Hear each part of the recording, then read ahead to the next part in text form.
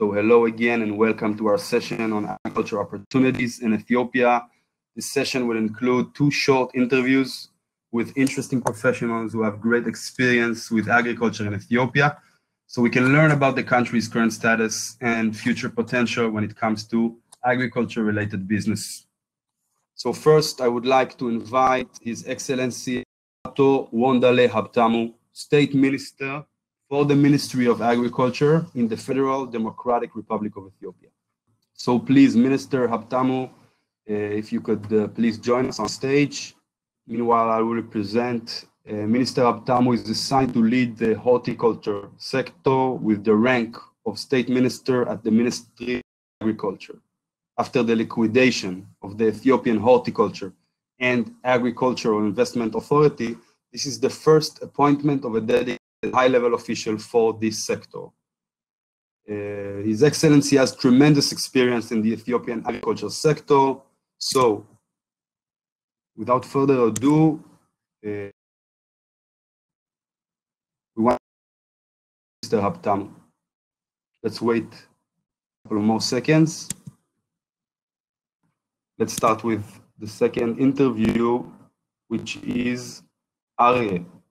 Uh, Arieh, I'm inviting you to the stage. Our second speaker, uh, Mr. Arieh Doobov from Tikkun Olam Ventures.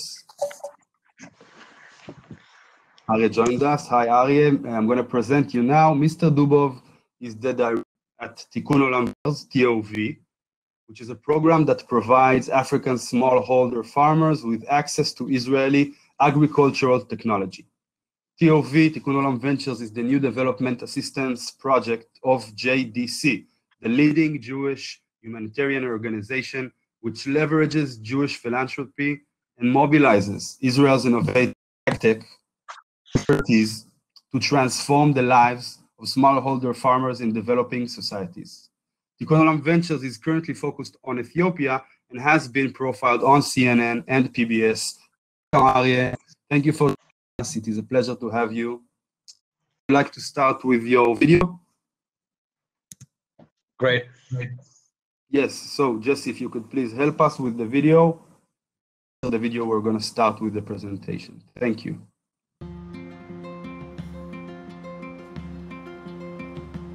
Israel is uh, some kind of an economic miracle. We had to face uh, water challenge from day one. We don't have enough water. So we had to come out with advanced technologies. One of them is the drip irrigation. It started with uh, saving water, but it appeared that if you give the plant the exact amount of water, you actually increase its yield.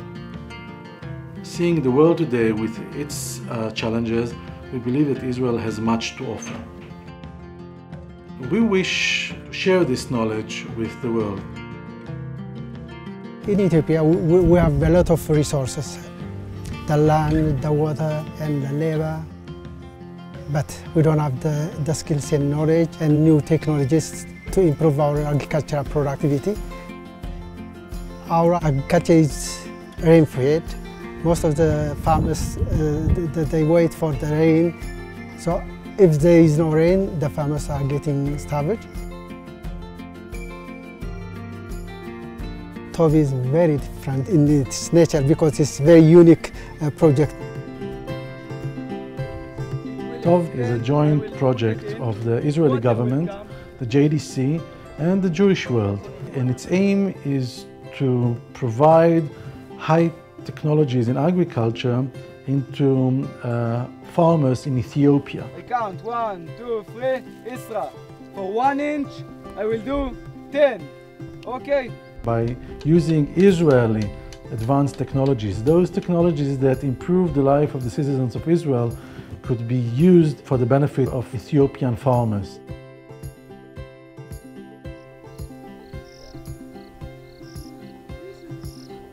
It's not just giving the money By selling the Israeli technologies and with the support of the program, the Ethiopian farmers will see the benefit of it and everyone will, will earn. This is a win-win situation. መንገድ ላይ ወጥቼ ነው ተቀበልኳቸው። መጡልኝ። እኔ እድለኛ ነኝ። የቴክኖሎጂ ጥግ ላይ ነው ያለው። ለግብርናዬ ይጠቅመኛል፣ ህይወቴ ከነ ልጆቼ ይቀይረኛል ብዬ የምቀበለው ቴክኖሎጂ ነው። ድህነት ለአንድም ቀን መታየት የሌለበት ነው ኢትዮጵያ ውስጥ። We managed to build a very fundamental and sustainable uh, program. ከአቅሜ በላይ የተንሰራርቼ ቴክኖሎጂ ናፍቃለሁ። አድሮ በቃ ለአካባቢውም ጭምር ይቀይራል ብዬ ማስበው ነገር ነው እኔ If this project succeeds, and I'm absolutely confident that it will, we can scale it to other countries, um, to other areas. Israel has so much to offer to the world. We will be able to make many achievements globally.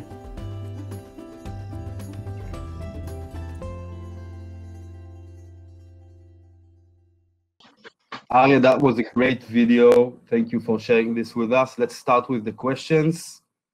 Uh, Tikkun Olam Ventures pilot project in Ethiopia. Please tell us about the project and, and why did you choose Ethiopia as the first country for your operation?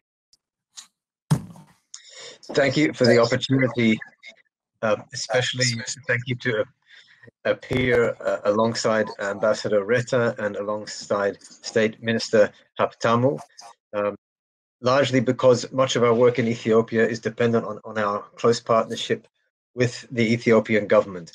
Um, TOV is a program that has many partners. Uh, on the Ethiopian side, it includes the Ministry of Agriculture, the Agricultural Transformation Authority, and on the Israel side, one of our major partners is the Israeli Ministry of Economy and Industry. Why, why did we choose Ethiopia? The ambassador referred to this earlier on when he spoke, um, as did the deputy director of the Israeli Minister of Foreign Affairs. Ethiopia is a is a country that is deep in the consciousness of the Jewish people and, of course, of of Israel. Uh, it is a, a, a, country and a people um, whose history has developed alongside the history of the Jewish people, and of course, there have been many touch points all along the way. Um, so it was very natural for us as uh, as an NGO, as an international Jewish NGO, to to prioritize Ethiopia. Um, having said that, and to be uh, the, I'll say a few words about the program itself. Tikkun Olam Ventures, as you saw in the video, is about providing smallholder farmers in Africa and first in Ethiopia, providing them with access to Israeli agricultural technology. Um, our focus, as I say, is smallholder farmers rather than commercial farming or large scale agriculture. And we are there as an NGO because the some of the greatest development challenges across the globe are those that challenge smallholder farming households.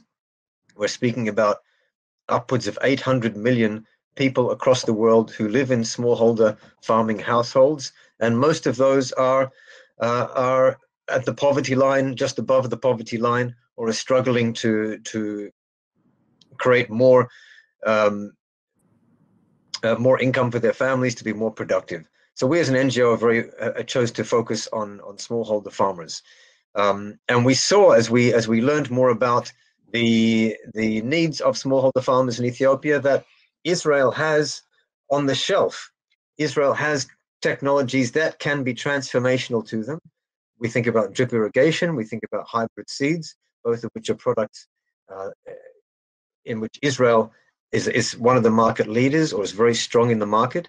And so we saw the need to try and find a, a market-based platform, a market-based approach which enables farmers to not just receive these technologies, but to receive them as part of a business opportunity.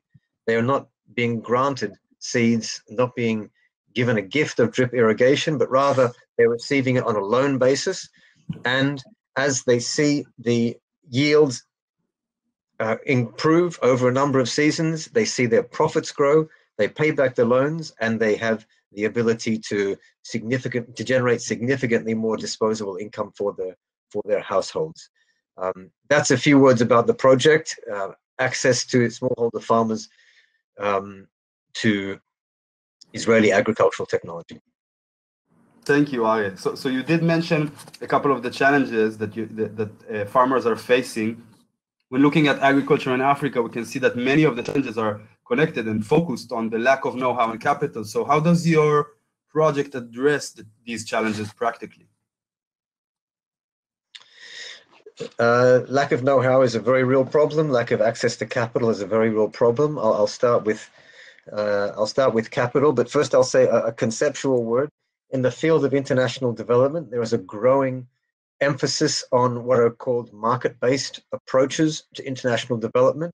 Uh, as I mentioned, we don't hand out uh, inputs. We don't gift the the opportunity. Rather, we offer a, an a business opportunity to farmers. And the, uh, the market-based approach to international development says that if you demonstrate to all the actors in the local uh, in the local ecosystem that they can economically benefit from the intervention, that you have a much bigger chance of seeing the the initiative grow sustainably and grow to scale because the market will take it to scale. And in our case, we are looking to demonstrate to the farmers that it's worth taking a risk of receiving a loan and purchasing agricultural technology. It's a very sizable loan, but we're demonstrating to them that it's worth taking the risk. We're demonstrating to the local actors, such as our banking partner in Ethiopia, that it's worth them their it's worth to worth lending money to farmers.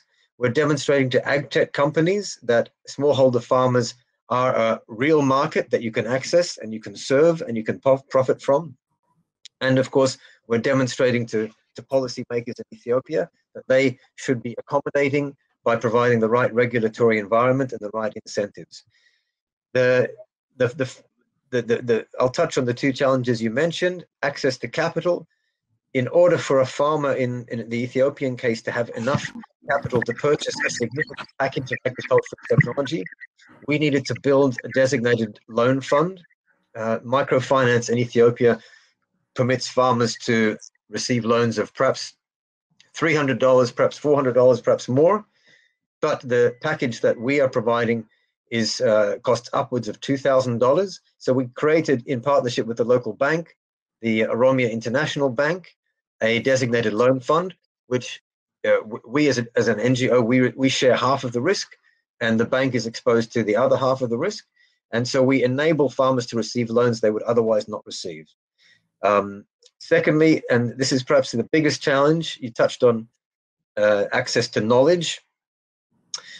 The, the technologies that we are bringing in, and, um, and as I mentioned, drip irrigation technology and hybrid seeds, the knowledge that is necessary for farmers to have and for local experts to have to support farmers is uh, in, is not is not existent on a nationwide nationwide scale.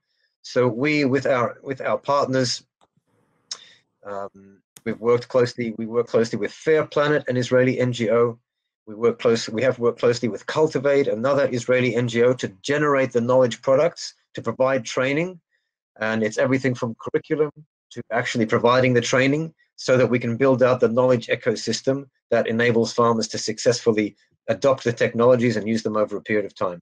That is the that is perhaps the biggest challenge that we have and and uh, I'm glad that the the state minister, um, whose ministry is is a, is a close partner to us, is is also listening. And I know that he's very aware that um, we are, are, one example of an NGO who are working with development agents to enrich their knowledge and see how they can be mobilized to support the farmers that we are working with. Great, Aya. Thank you for this answer. I just want to give a heads up. The minister is going to join us, and we want to we want to utilize his time. He's experiencing some uh, technical uh, issues. So, so maybe we, we can stop uh, in the middle of the questions, Arieh, and apologize uh, for that and just uh, uh, address the, the minister. Hello, His Excellency, can you hear us? Hello, I'm hearing you perfectly. Great, it's so nice to have you again. Arieh, I apologize. I will go, get back to the, the, the, the last two questions right after we minister. Um, the minister again. Uh, His Excellency, do you want to start with the presentation? Yeah. yeah. Um, Your Excellency, Ambassador Reta Alemu, the Ethiopian ambassador to the State of Israel, different senior officials just from both the State of Israel and Ethiopia, participants, ladies and gentlemen. First of all, I would like to thank you uh, just to, uh, to, to give me such an opportunity to get participated uh, in uh, empowering Africa for for agricultural investment and development so, so far. and I'm going to just share you my presentation very very briefly and shortly. My presentation is entitled Bolstering Agriculture, a Potential Fuel for Increased uh, Employment, Agro-Processing, Nutrition Security, and Foreign Direct Investment Attraction. This is uh, something that I would like to talk. Uh, uh you know, uh, Ethiopia is uh, having different animal, crop, and you know horticultural products different products are uh, found in, in, my country uh, due to different uh, different you know agroecological zones. we can produce something that we demand in our country. There is no limitation in producing crop. Whatever you throw in my land, everything is grown, frankly speaking, due to the conducive uh, agroecological uh, condition. Uh, Ethiopia is the largest country uh, uh, in Africa. It is the second populous country and the 27th biggest country in the world. Uh, you know, it is a head of African status. It's a land of origins that every mankind is originated here. The birthplace of coffee and other different uh, crops is a cradle of mankind, the land of diversity. You can grow everything here again, it is the, the, the, the, youngest nation in the globe. The average age for Africa is, uh, you know, uh, 17 years. Uh, Ethiopia is is, old, is oldest independent state in the country, uh, in the globe, uh, not in the not uh, in the globe, in the continent. so Uh, it has its own pride uh, in order to, uh, you know, boost our development. Water is abundant in my country uh, is the second largest populous country in uh, Africa. So regarding market potential and other issues, uh, you can you can work in different scenarios in Ethiopia. 85% of the population is, you know, participated in agriculture. Again, uh, uh, diversified agroecology. There are uh, nearly 19 agroecologies in Ethiopia uh, is one of the oldest states. Uh, we already briefed this one. You know, you know, somehow there is some sort of stuck. Again, 70% uh, of the working population is young. Uh, in general, Ethiopia is very conducive for for uh, you know agricultural development. For your wonder, we have 74 million hectare of land that we can we, we can plow easily but of which uh, we are only plowing only 16 million hectare of land with irrigation, rainfed, or with any other means. So land is abundant in my country, so we can we can grow agriculture very easily. Agriculture is the source of uh, you know employment. It is the source of GDP, and it is a source of also uh, nutrition and uh, other macroeconomic situations. somehow it is stacking. Yeah. Uh, so uh, in my country, there are lots of workforces. Uh, the crop diversity is very high. Uh, agro agro industries are established, getting established in my country. Agro processing is started. So due attention in policy and strategy is also uh, uh given with high level uh, management of uh, you know the nation. Uh, so uh, different different uh, investors even right now are you know investing in my country. the presence of well-connected freight, particularly air freight and railway and you know different transportation systems makes uh, you know investment agricultural investment very viable uh, uh, in Ethiopia. Nearly 101 international pass, passenger destinations are found globally and nationwide, there are 22, uh, you know, uh, uh, air freighters. again, 57 cargo destinations are found globally from the Ethiopian Airlines. so oh, this is a very, a very conducive issue Uh, for bolstering agriculture uh, in Ethiopia. Again, the government is stable. We have a stable government. We have experienced leadership uh, of the country for, for more than you know 5,000 years uh, so it's a stable government. So anyone who is investing in Ethiopia is getting its premium or the return for investment in Ethiopia is very good. right now, the Ethiopian government is under reform. Our economy is reformed. there is a flexibility of policy. Right now, the two-decade agriculture and rural development policy is revised, revised, highly revised. Again, proactive measures are taken in order to boost, uh, you know, investments. There are incentives, different incentives regarding land, regarding taxation, and other issues. Uh, the Minister of Agriculture is taking serious measure, uh, uh, uh you know, uh, to boost Uh, the involvement of private sector uh, in the country. So, uh, in general, the stable government of Ethiopia is highly taking serious measures in, you know, different macroeconomic issues. right now, there are there are farmers in our country, millions of farmers that are growing, you know, horticulture and livestock, coffee, horticulture and livestock in my country. Uh, the, the rule of contract farming is endorsed uh, with the House of uh, Federation and Parliament, the Ethiopian Parliament. And again, the Minister of Council is also endorsing uh, a contract farming uh, uh, regulation. so anyone who is coming to Ethiopia can establish his own, you know, farm so that he can he can connect his system with again with farmers uh, Uh, uh, in order to boost production productivity and in order to get uh, his own pre uh, premium. Right now, uh, our connection with Eritrea, our connection with Djibouti, and you know Somalia, just to access the sea is very very excellent. so the country is you know highly proxim. it is proximity to the Middle East and Europe is making my country very, very uh, in order to uh, get its premium. So uh, in all these instances, the government is very keen. And even previously, the Trans-African Road, just in, in Lamu Port in Kenya, there is a road constructed and inaugurated with our Prime Minister very recently, just a month ago. So these all opportunities give uh, uh, our agricultural sector, uh, you know, highly convenient Uh, for for uh, uh, investment. So is it worth in invest in Ethiopia regarding the agricultural sector?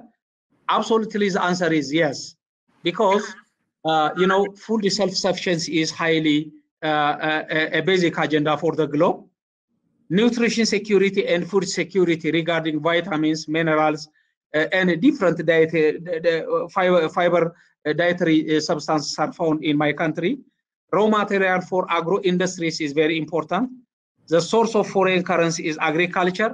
The source of em employment is agriculture. In order to, you know, manage the environment, agriculture is one of the best, the best business uh, import, import, substitution uh, and export uh, promotion is highly encouraged in my government. So with all these instances, investing in agriculture and investing in Ethiopia is highly, you know, appreciated and getting a prime agenda with, with the Ethiopian government. In which crops from horticulture we are, we are, we are trying to invest. For example, avocado is a national project right now nearly 600 million dollar uh, project is uh, you know uh, initiated with the Ethiopian government with avocado. Strawberry is again another uh, project uh, project area. Banana, uh, you know, mango, flour, tomato, potato, and sugar snap and green beans. These are these are major major investment areas from the horticulture sector again from the livestock sector regarding poultry, uh, you know, dairy, sheep and goats, fishery, fishery, uh, uh, uh Uh, uh, uh, apiculture, and others are uh, highly, you know, entertained in uh, the livestock sector, particularly in fishery after the completion of the Ethiopian Grand Renaissance Dam. I hope Ethiopia would be one of the best East Africa fish, fish you know, developing and growing country. So with that also, we are looking everything in advance, in advance. So anyone, anyone is, you know, invited in order to invest in the livestock sector, just similar to the horticulture and crop sector. Again, in cereals, uh, you know, in sesame, uh, there is a, a, very good opportunity in Ethiopia. In wheat, uh, there is a lowland, a lowland area. Uh, in lowland area, even the Israel government is looking this this area. Again, uh, uh, you know, in coffee and in different beans, you can you can you, you can invest in my country. So the business model that you are going to follow is highly uh, studied, carefully studied with university instructors. Uh, for example, uh, the business model that we are going to follow is, first of all, uh, you can grow a nucleus farm. You can, you can develop a nucleus farm. Around the nucleus farm, there are different learning plots that you are going to have. So with all the, the learning plots, uh, you are going to teach the technologies that we are uh, lacking we, we lack the technology, the new agricultural uh, and modern technologies that uh, Israel is having. So with that, uh, with those different nucleus farms, the learning plots are, you know, accompanying different farmers, millions of farmers or thousands of farmers. You you you you can join for the capacities that you are having. After that, the nucleus farm uh, is uh, you know developing different innovative farms those innovative farmers with the contract farming and uh, other issues, uh, you, you, you, you, you can grow uh, and you know develop your your your system. So why not also process you know your produces here in Ethiopia? In Ethiopia also there are different agro integrated agro industrial parks. Uh, right now, there are four big industrial parks uh, uh, agricultural industrial parks that we are establishing and integrated agricultural industrial parks will be also established. 17 17 in the near future we can we can develop 17 agro-industrial parks. So those model uh, and innovative farmers and uh, the nuclear farm uh, can can form you know a very stringent business environment so that they can they can process they can pack and they can export as well as they can also sell in, in my country. With that, uh, uh, we, we, we can submit every every business model uh, we have. we can submit you the documents because we have on the shelf projects uh, so that uh, uh, the, the business farm, for example, if you see my picture, right now the business farm can can develop, you know, uh, can provide outgrowers, the packing house, the cooling house, and different technologies.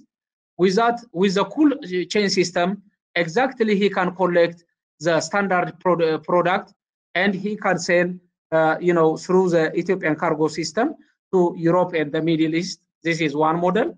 The second model is the business farm can sell uh, its produces uh, to the urban uh, supermarkets as well as he can sell uh, through the Ethiopian uh, railways to Djibouti and uh, you know through this train to Europe and uh, the.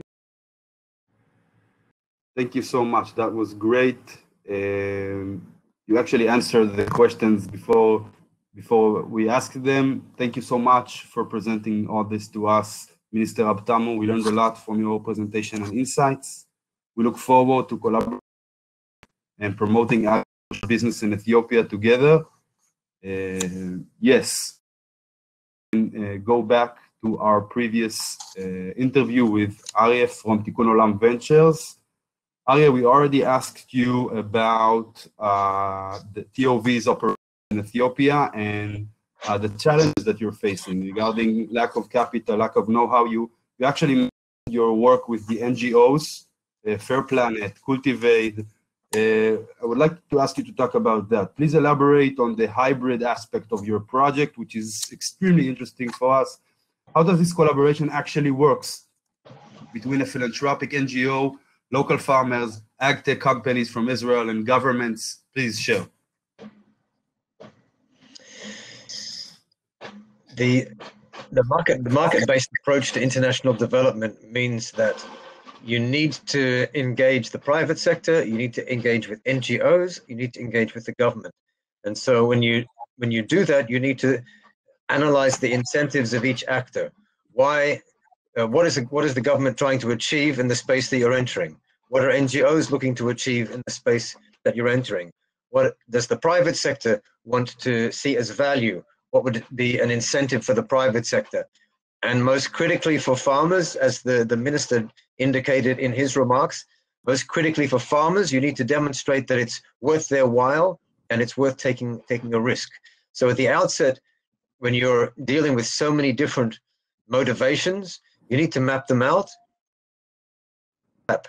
Um, it's kind of a it's it's kind of a Venn diagram where you where you articulate each of the incentives and you see how you can harness them together, how you can uh, how you make them overlap.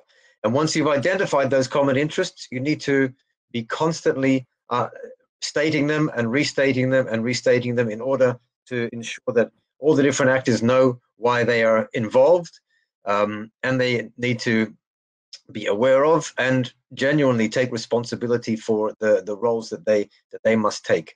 So in our case, um, our case uh, of of Tov is a is one example of how you need to be aware of the entire uh, system that you're operating in. You need to understand the the entire supply chain and recognize what what steps you need to take uh, at each step along the supply chain. In the case of Ethiopia, the supply chain is still is still in development.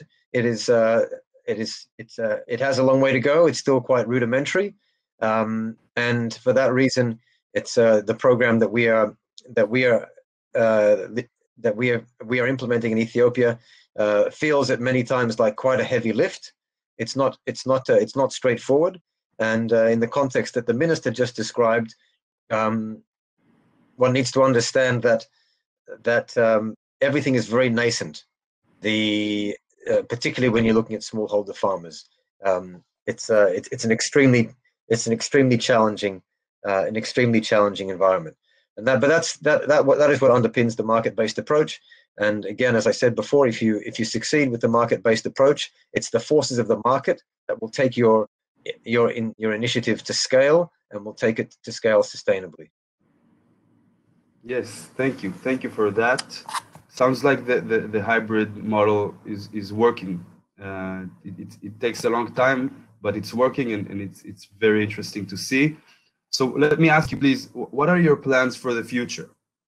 I mean, uh, expanding in Ethiopia, replicating the project to other countries in Africa. How do you make sure that the fruits of your knowledge that you uh, pass on to farmers stays with them and it is transitioned also to the next uh, generations so as we, we we have a long way to go before we say that our program has succeeded. We're on the path to success and we are but uh, it's challenging as i said. We uh, as we look to the future we need to do a few things. One is we need to make our, our model as robust as possible in ethiopia. We need to grow it in ethiopia. 2020 was meant to be our first year of growth but because of corona and, and some of the other challenges in ethiopia we didn't grow as much as we wished, um, but we uh, we are looking to see 2021 as an opportunity for more growth.